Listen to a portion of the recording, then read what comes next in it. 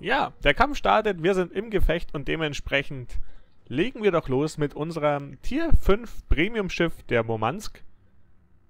Einem Kreuzer.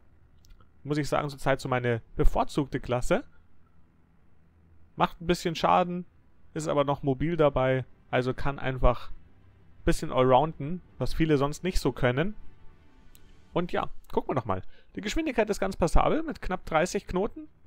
Noch ein bisschen drüber. Und die Reichweite mit auch 15,7 ist auch okay. 33 sind sogar. Knoten meine ich natürlich. Also von dem her hat man doch da ein Schiff, mit dem man was anfangen kann. Jetzt bin ich gerade so gut gestartet, habe hier so einen Blitzstart, deswegen fahre ich direkt auf A. Vielleicht ist nicht unbedingt die typischste Aktion, dass man mit einem Kreuzer sofort die Punktejagd loslegt und auch eher aggressiv. Aber in dem Fall war der Start und die Startposition so perfekt. Da hoffe ich doch mal, dass es gut geht. Schade, dass die ISO-Katze nicht für B geht.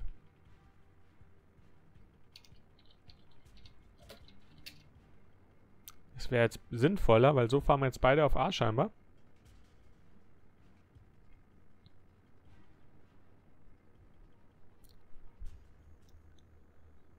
Flugzeugträger deckt jetzt hier gleich auf.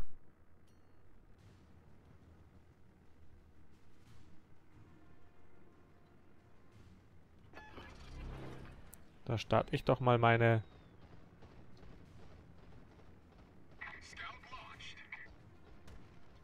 Ah, nein.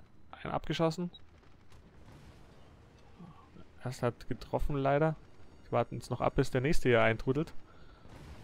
Weil sonst würde ich jetzt richtig lange brennen.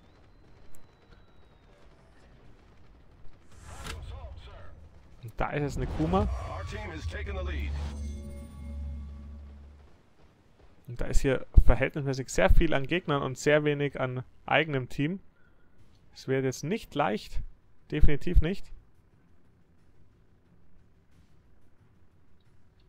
Jetzt bin ich ja doch ganz froh, dass ISO-Katze hier am Start ist.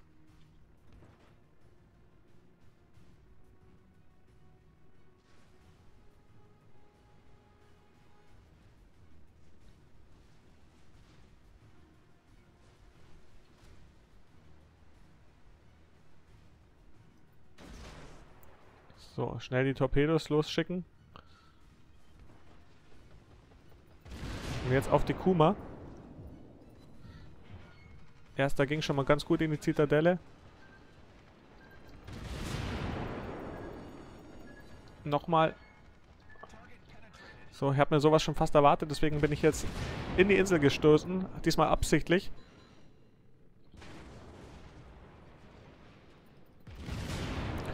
So, und jetzt ist die Kuma zumindest mal weg. Immer noch nicht.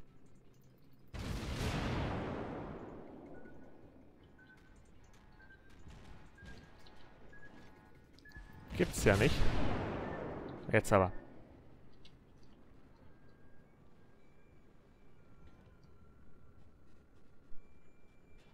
Die Mine-Katze hier. Ich brenne leider länger als eigentlich gewollt. Ich habe jetzt da nicht gar nicht so drauf konzentriert, dass ich schon wieder löschen konnte.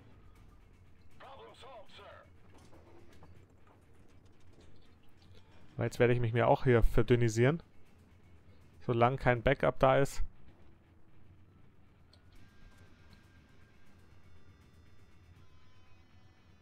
Ist das noch nicht wirklich förderlich.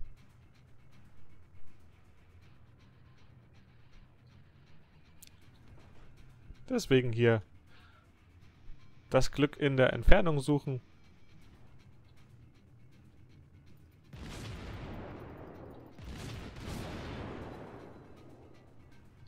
Da ist jetzt die Minikatze.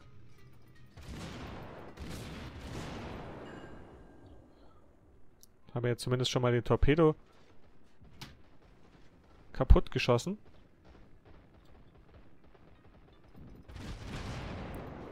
Und jetzt behaken wir sie noch weiter ein bisschen.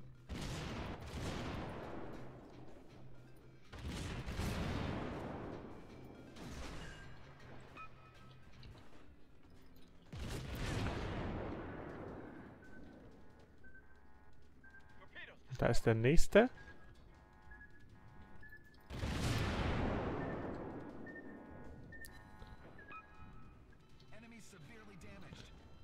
So, die konnte ich doch beide schon mal ganz gut beackern.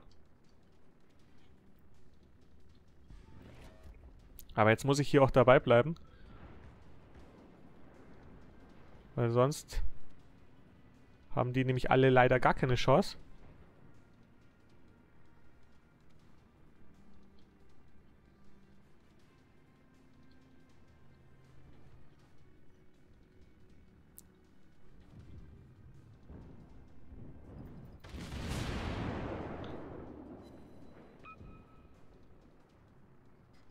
Wieso du hier weiter...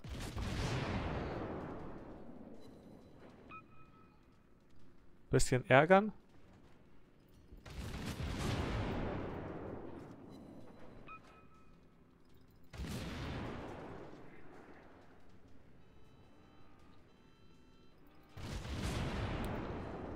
Der kommt gut. Ja, sehr wichtig. Die Wyoming ist da jetzt auch weg. War jetzt eine gute Aktion.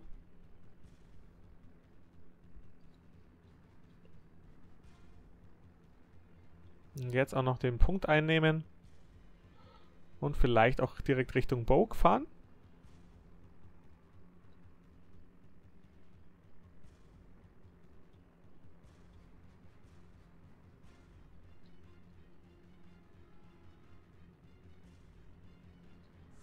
Haben auch den Punkt. Die Baug wird natürlich wegfahren. Die wird jetzt ihr Glück da Richtung Murmansk, Fuso, Phoenix und so weiter und so fort suchen.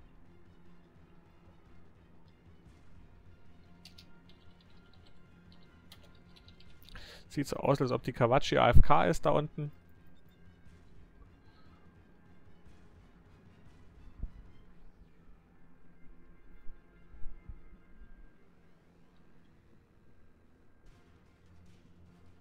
Jetzt nur nicht zu aggressiv spielen, weil je nachdem, man sieht ja auf der Karte schon ganz gut, dass die Gegner alle tendenziell abgedreht haben. Und ich will jetzt nicht hier der Erste sein, der auf die alle aufläuft. Die sind am Zugzwang, wir haben alle Punkte. Und da braucht man da auch nicht noch jetzt in vier Schlachter reinfahren, beziehungsweise drei.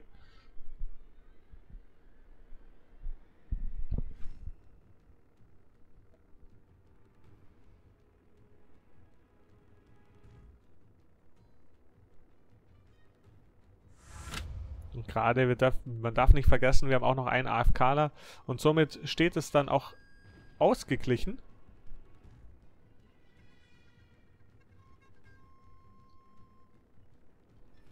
Da hinten ist eine Phoenix. Für die kann ich dann tendenziell mehr dann doch eher AP laden.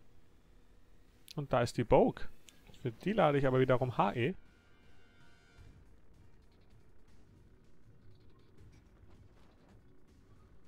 Nur nicht jetzt zu krass. Nee, ich bleib auf der... Ich drehe hier ab. Das ist mir zu risky.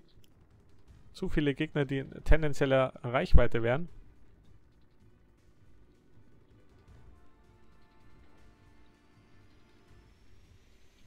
Deswegen wird jetzt hier auf die Phoenix gegangen. Sobald sie hinter der Insel auftaucht, bekommt sie erstmal eine Schelle.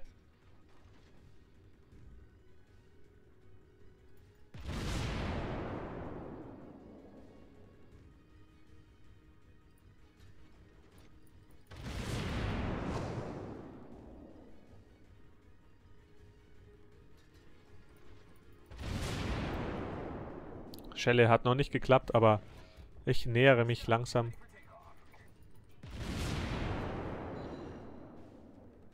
Dem Grad, dass ich sie erreiche und jetzt hat es ja doch noch geklappt.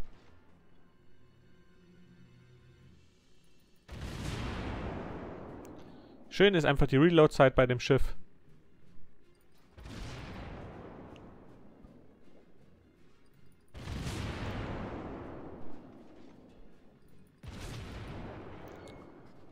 So, und wir treffen sie so langsam aber sicher. Oh, da ist jetzt noch die Arkansas.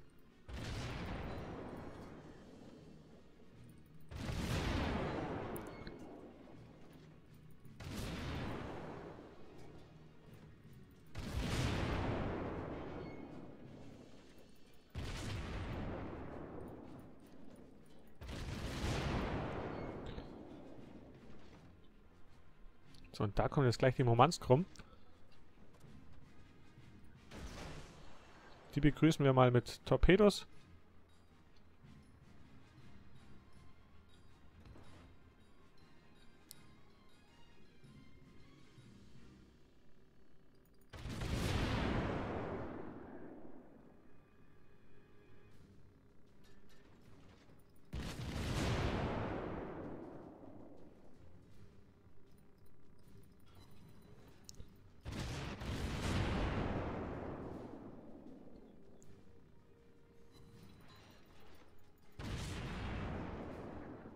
So, jetzt müssen wir aufpassen auf die Insel. Mein größter Gegner fast in dem Spiel.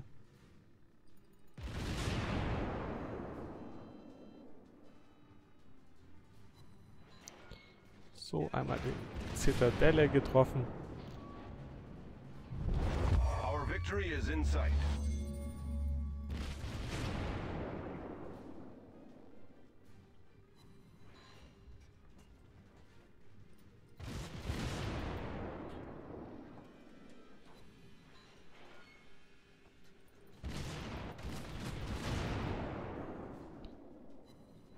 Und weggemacht.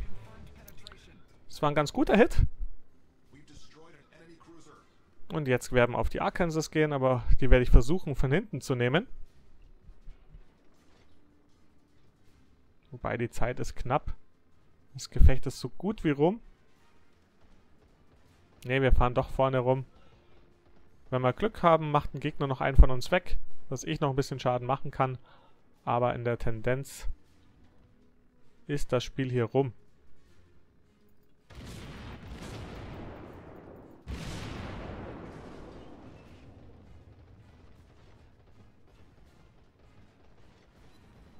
So, ja, nochmal einen auf die Bow geben können.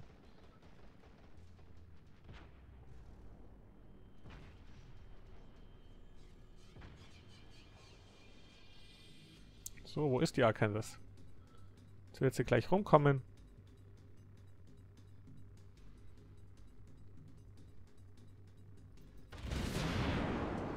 Wenn er ein bisschen clever ist, schießt er jetzt auch auf mich. Aber das ist er nicht. Die Schussfolge ist, wie gesagt, sehr, sehr schön.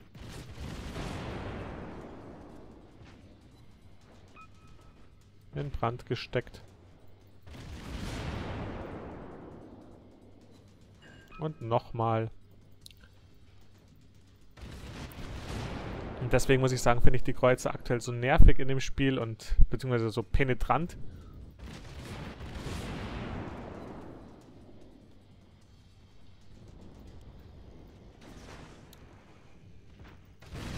Wir halten jetzt weiter auf sie drauf. Der Schaden.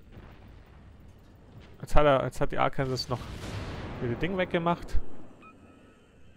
Aber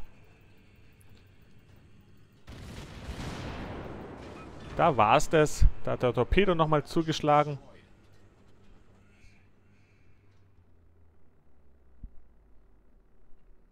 Und jetzt werden wir nochmal schauen, wo die Bogue ist. Zumindest. Lol. Also ich werde nicht aufhören, HE einen Battleship... Also, ja, weil wohl meint wohl, dass man als Schlachtschiff kein HE schießen sollte. Das wäre es dann richtig. Ich dachte schon, er meint mich. So, wie gesagt, jetzt fahren wir hier durch den Cap durch.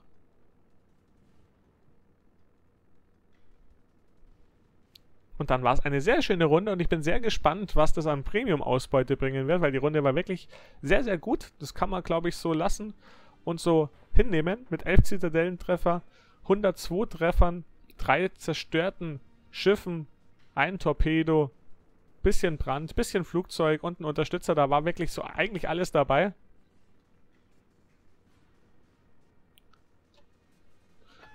Mal meinen Aufklärer losschicke, vielleicht findet der mir mal noch den... Damit habe ich auch eine längere Reichweite.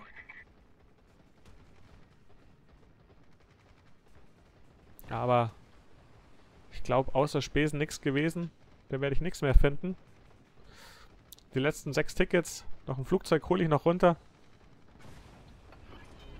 Und da war es das. Jetzt bin ich durchaus gespannt, Müsste eine gute Runde gewesen sein. Oh ja, 350.000 gab es raus. Es war der Tagessieg. Es waren aber doch knappe 2000 XP, die ich hier geholt habe.